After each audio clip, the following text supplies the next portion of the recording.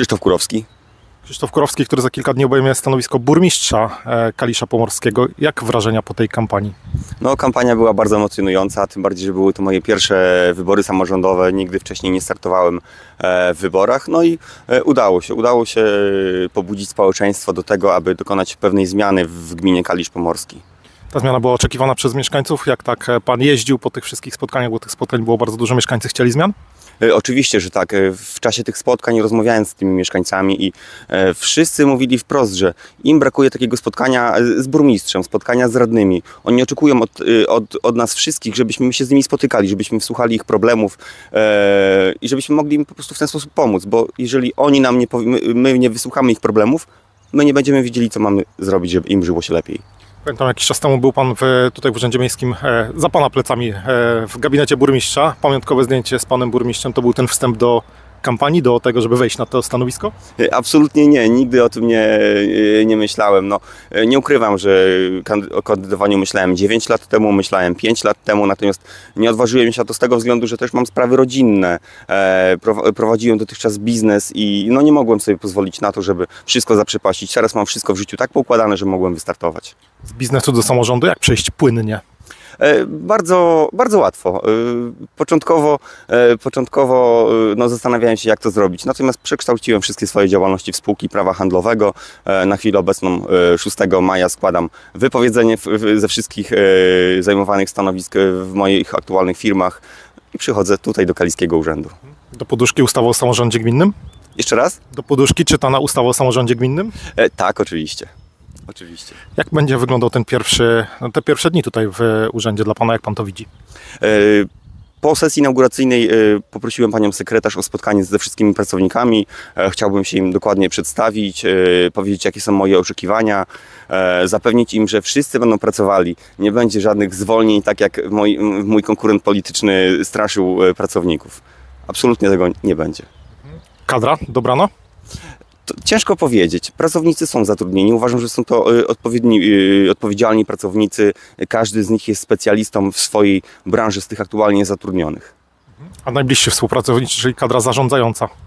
E, nad tym się jeszcze nie zastanawiałem. Kierownicy są, uważam, że świetnie wykonują swoją pracę, z każdym oczywiście będę chciał porozmawiać, e, a to wszystko wyjdzie w praniu, ale zapewniam, że wszyscy będą pracowali. To ważna informacja. Oczywiście, że tak. Kalisz Pomorski, e, jak Pan ocenia działania gminy do tej pory? Co, co, jest, są, co jest plusami, co jest minusami? E, minusem było brak e, kontaktu z ludźmi. Ludzie naprawdę potrzebują spotkań z burmistrzem, potrzebują spotkań z radnymi. Tego tutaj nie było. Pracowników trzeba, mieszkańców trzeba wysłuchać, porozmawiać z nimi o tych potrzebach, które, które oni mają. A takie minusy Kalisza? Jest wiele. Jest wiele minusów, nie będę teraz mówił, bo nieładnie, dlatego skupiamy się na przyszłości. Jakie Pan ma plany? Oj, planów jest dużo, mam tyle emocji w sobie, mam tyle energii, tyle siły do działania, e, że ten kalisz naprawdę rozbujamy, że będzie piękną gminą, e, tętniącą e, życiem. Pierwsze co, no, zajmę się realizacją naszego programu wyborczego. nie wiem, czy wszyscy z Państwa mieli możliwość zapoznania się z nim. Myślę, że tak. Jest tam bardzo wiele takich istotnych rzeczy, które, które wpłyną na rozwój tego Kalisza Pomorskiego. Żeby to zrobić, trzeba się zapoznać z budżetem. To temat taki trochę kontrowersyjny. Jak jest naprawdę? E, no właśnie. To jest najlepsze pytanie, na które nikt nie potrafi odpowiedzieć. 26 e, stycznia na sesji Rady Miejskiej burmistrz wystąpił do Rady Miejskiej o, udzielenie, e, o zgodę na udzielenie kredytu w wysokości 5 milionów złotych. Co się okazuje, w ten czwartek była sesja Rady Nadzwyczajna. Burmistrz chciał spłacić ten kredyt. Uważam, że podejmowanie decyzji tak istotnych, finansowych na chwilę obecną, to no, no nie, nie, nie powinno mieć teraz miejsca. Tym bardziej, że słyszymy o wydatkach, które y, były w ostatnim, w ostatnim tygodniu, po 22 kwietnia. Panowie burmistrzowie, można powiedzieć, zaprosili na sesję inauguracyjną. Macie kontakt jeszcze taki już e, służbowy, czy, czy jeszcze nie? E, udałem się w czwartek po sesji nadzwyczajnej do, do Kaliskiego Urzędu. E, rozmawiałem z burmistrzem. Mhm. Czyli wszystko jest na dobrej drodze, żeby przejąć tą władzę? E, tak, oczywiście. Kalisz Pomorski to również wydarzenia plenerowe, e, róż, różnorodne, które były do tej pory. Jak będzie to wyglądało?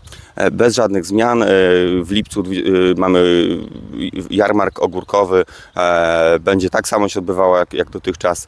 E, Ewentualnie zrobimy może kilka udogodnień albo kilka dodatkowych atrakcji, ale to najpierw muszę wejść do urzędu, sprawdzić budżet, jak to wszystko wygląda i wtedy będziemy mogli decydować. Jest obawa o tym, przed tymi pierwszymi dniami, czy raczej na spokojnie? No jest, jest, nie ukrywam, jest obawa z tego względu, że no, będę pierwszy raz pracował e, w samorządzie.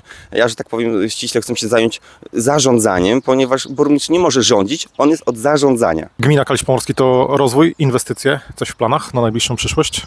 E, tak, oczywiście, tak jak w moim programie wyborczym powiedziałem, czy y, y, powiedziałem, y, będę planował skorzystanie z funduszy Polskiego Funduszu Rozwoju dotyczących budowy y, mieszkalnictwa. E, zabezpieczyć będziemy musieli milion złotych z budżetu, 19 milionów dostaniemy na budowę tych e, mieszkań. To już takie konkrety. Tak, konkretnie jestem przygotowany naprawdę do zarządzania gminą, do skutecznego zarządzania. Współpraca z organizacjami?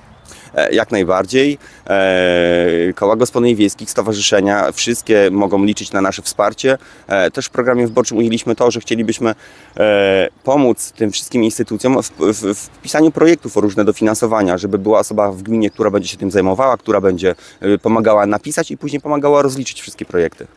Edukacja? Edukacja uważam, że działa naprawdę e, poprawnie. W ten wtorek mam spotkanie z panią dyrektor szkoły podstawowej w, w, w, w Kaliszu Pomorskim. Będę, będę również chciał się spotkać z panią dyrektor szkoły podstawowej w Pomierzynie, żeby zapewnić ją, że ta szkoła nie zostanie zamknięta, jak to mój konkurent polityczny straszył w trakcie kampanii wyborczej. Obszary wiejskie, jak ważne są? E, Są bardzo ważne. W, w gminie Kalisz Pomorskich jest kilkanaście sołectw. e, Wszystkie są piękne. Uważam, że e, tak powinno pozostać. Będę chciał się spotkać ze wszystkimi sołtysami, przy okazji ze wszystkimi kołami gospodyń wiejskich. Żeby nam wszystkim żyło się lepiej, a żeby w, w sołectwach było tak, jak było dotychczas. Jesteśmy obok Ośrodka Kultury w Kaliszu Pomorskim. Jak ocenia Pan działalność kulturalną? E, uważam, że ośrodek kultury działa e, w sposób prawidłowy. Jest kilka rzeczy, które chciałbym na pewno zmienić. E, nasz ośrodek kultury korzysta z, z niewielkiej ilości projektów, które są dostępne na działalność kulturalną. Chciałbym, żeby ośrodek kultury tętnił życiem. Dla porównania mamy ośrodek kultury w, w gminie Drawsko-Pomorskiej, który działa świetnie i chciałbym, żebyśmy się wzorowali na, na ich działaniach.